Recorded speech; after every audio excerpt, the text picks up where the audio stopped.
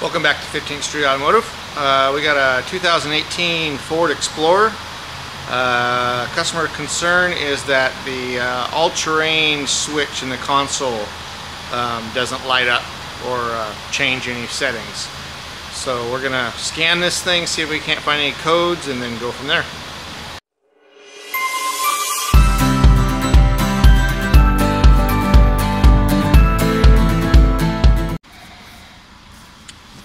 Alright, so I pulled up the codes on this thing and uh, it's got two codes in it, but they're the same code essentially. Uh, basically, the all-terrain control module um, is not communicating. Uh, it's on the same network as the instrument panel and the anti-lock brake system, and they're not uh, seeing the messages from it. So um, they've set codes in the console here we've got this uh, switch and it's got the different modes that you can change to um, you know hills snow uh, downhill uh, all these other different modes you can change but there's no lights there and it doesn't change if you if you turn it. So um, that is uh, it's basically just a knob but that's essentially the uh, all-terrain control module. Um, so uh, won't communicate, doesn't light up.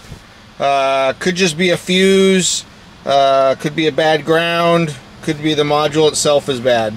So what we'll do is we'll uh, get in this thing, check, uh, uh, make sure that the fuse is good.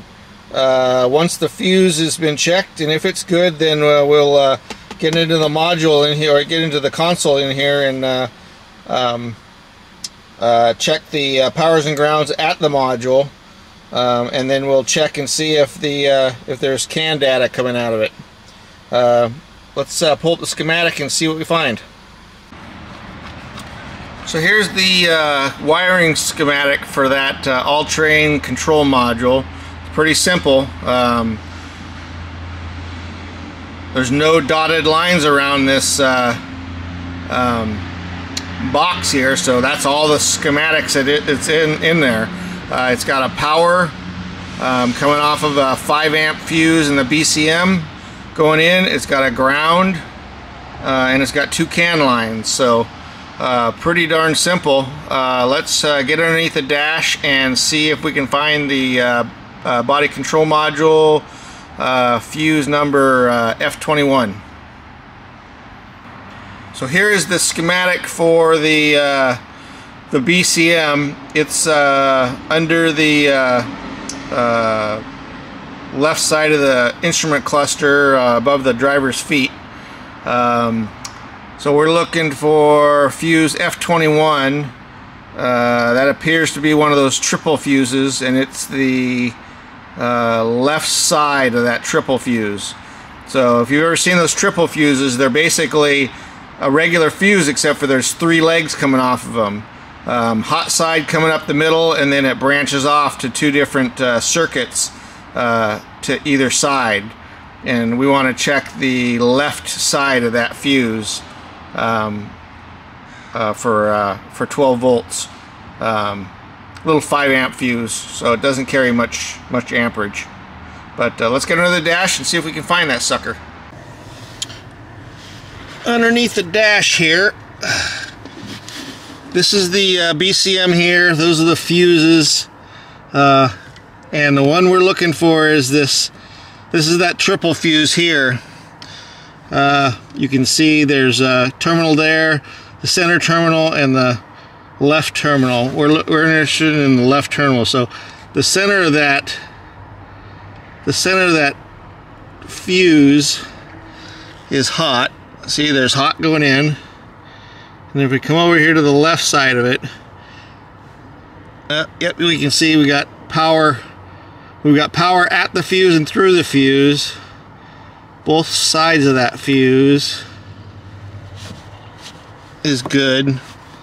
So fuse is not our problem. Next step is to get into the console and uh, and make sure we have what we need uh, to the control module itself. So this is the uh, module we need to get to and uh, shouldn't be too terribly difficult to get in there.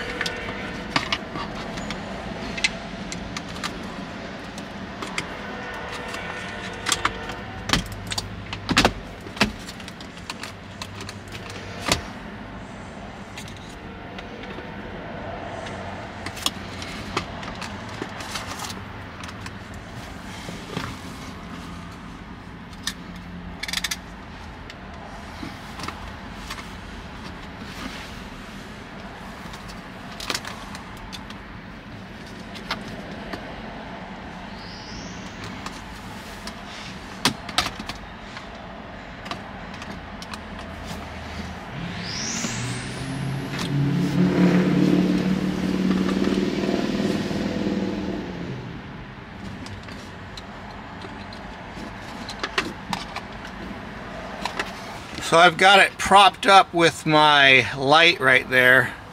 This is the module right here. And right there is where there should be a connector connected. There is no connector connected. So if we look in here, there is a connector lying here.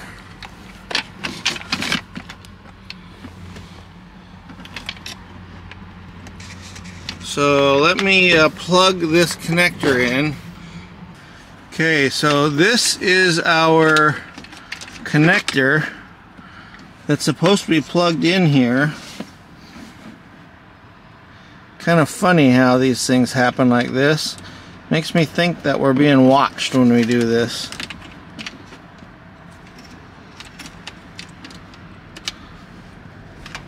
When you find something unplugged that's simple like this. Oh, plug it in and we have a light. So let's uh, plug our scanner back in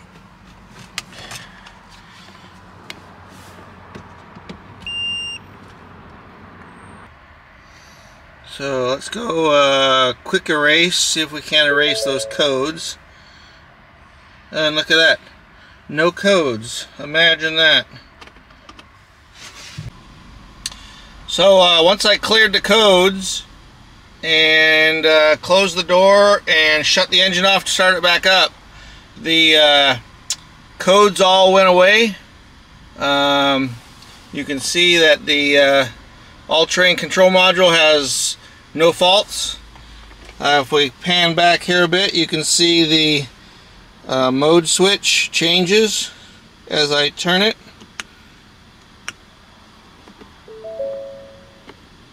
And then up on the dash here, if you look at that, I can change different modes.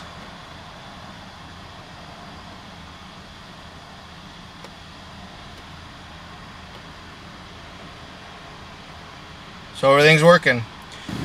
Uh, I have no idea why the uh, control module is disconnected. Um, this is on a uh, this is a used car lot, so uh, people do funny things at auctions. So um, plugging it in and clearing the codes, uh, cycling the key, uh, made everything work. So kind of weird. I was kind of hoping to have a cool video for you, but there you go. Sometimes Sometimes you get an easy one. Thanks for watching.